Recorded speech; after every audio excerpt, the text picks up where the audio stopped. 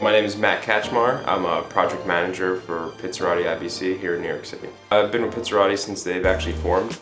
I helped start the company up with the founders.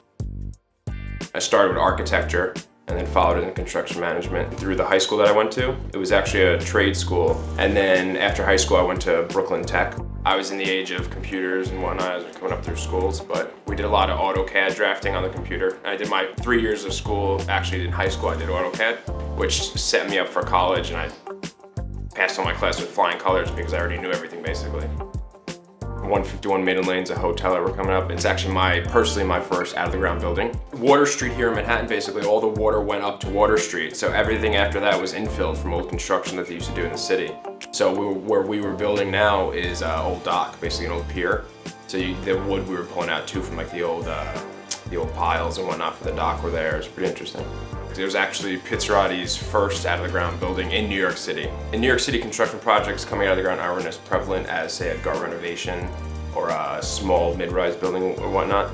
So it is a, you know, it's a prestigious honor to be able to build a high-rise here in Manhattan, which is, and was really our first, our first project to be run out of Procore.